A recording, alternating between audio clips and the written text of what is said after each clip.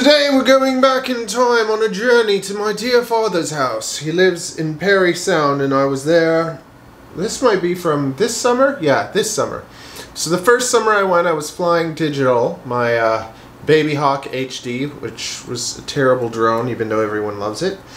And then last summer I went back and by now I had destroyed all my digital drones and have gone back to analog.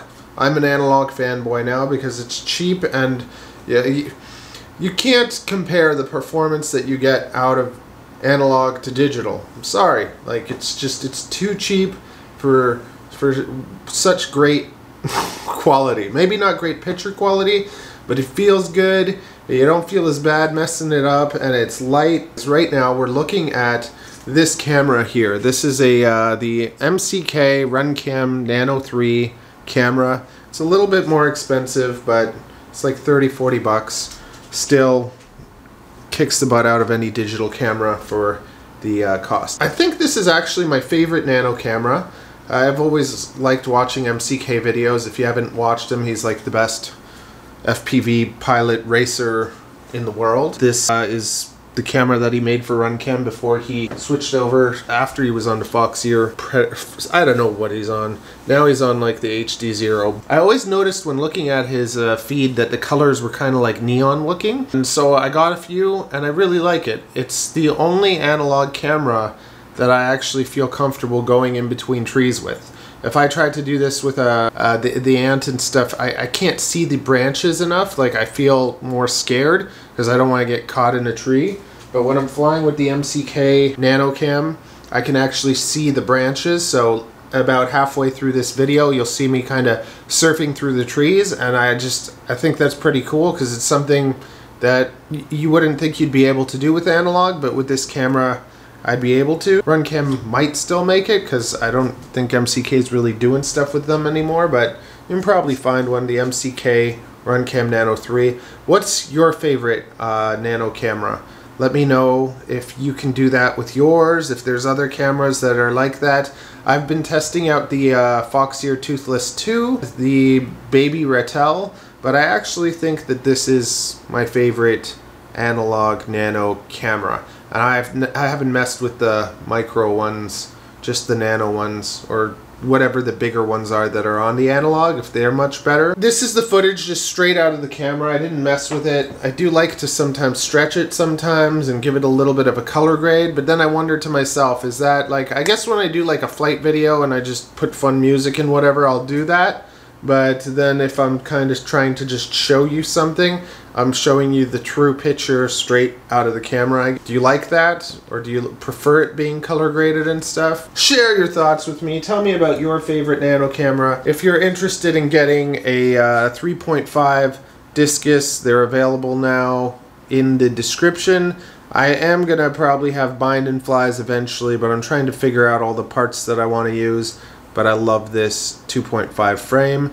It's pretty decently easy to make with analog.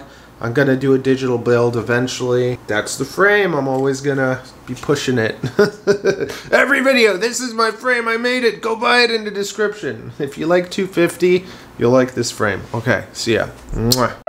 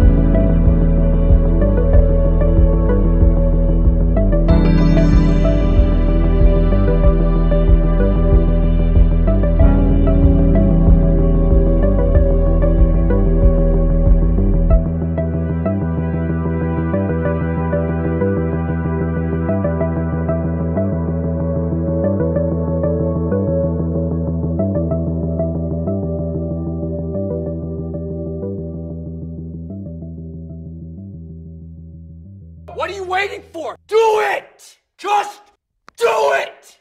Yes, you can! Just do it!